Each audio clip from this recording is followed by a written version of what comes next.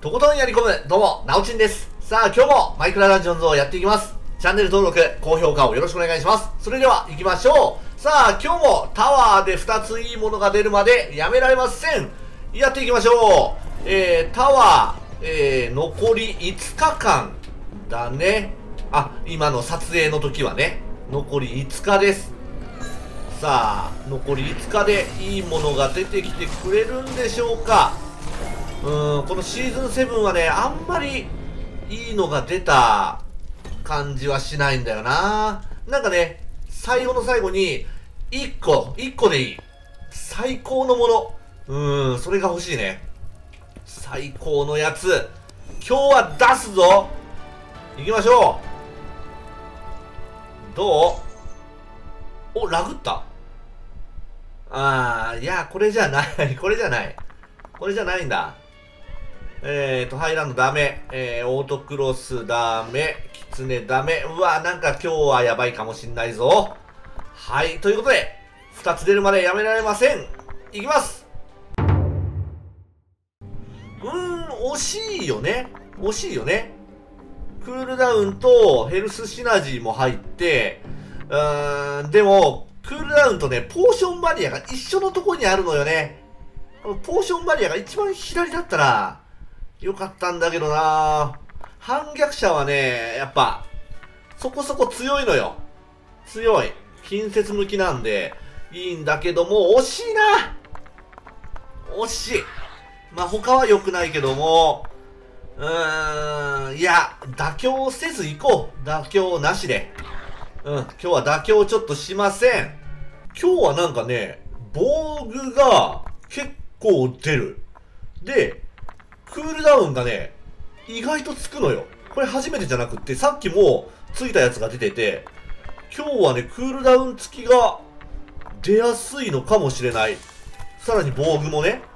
おー、いいんじゃないの？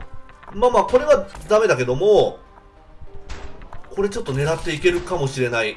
できれば英雄、英雄のいいやつが欲しいです。うーん、火炎フォーカス、雪玉、稲妻フォーカスのリサイクルの黄金か。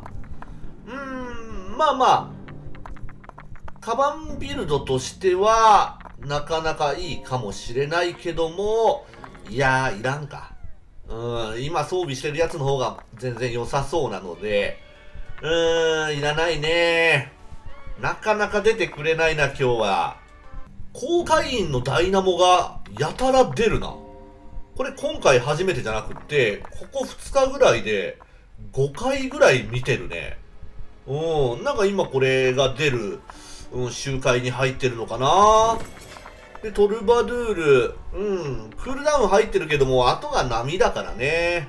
いや、妥協せず行こう。これはどうだろうか。えーと、虚無でしょで、爆発のダイナモ。で、黄金が、リフレッシュ1なんだよな。1か。1は確か0.5秒とかじゃなかったっけ？うーん、ちょっと微妙かもしれないけども、まあ、攻撃的には、なかなか破壊力がありそうな気はする。うーん。まあ、とりあえずこれで、1個目行きましょうか。リフレッシュ1がね、どれぐらいなのかっていうのがちょっと気になるとこだけど、まあまあまあまあ、いいじゃないですか。1つ目、ゲットあー、出ましたね。出ましたね。速攻で出たな。えー、どうしようか。普通だな。まあ、クールダウンショットとアーティファクトチャージでしょで、黄金で浮遊射撃。いらない。浮遊射撃はいらないけど。で、真ん中が、うーん、バブルで倒してもリフレッシュが確か発動しないんだもんね。となると、あー、重力入れたりするのかなうん、まあまあまあ、全然、すごい使えるよ。使えるから、これはカウントしましょうか。でも時間がね、結構余ったのよね。ということで、えー、あと3回行こううん、いつも通りだ。あと3回頑張ります。どうだいや、ダメだね。えー、あともノーマルです。次 !2 回目どうだ？うーん。まあ、グリーンメナスぐらいか。どう？あ、あー いやいや、よくないよ、よくないよ。うん。まあ、そうか。難しいよね。ラストあー、あ、まあ、クールダウンはついてるね。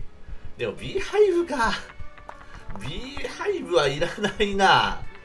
うん、まあ、使うとするなら、うーん、一番左がいらないんだよな。まあ、ソウルフォーカスが後々使えるようになったらいいか。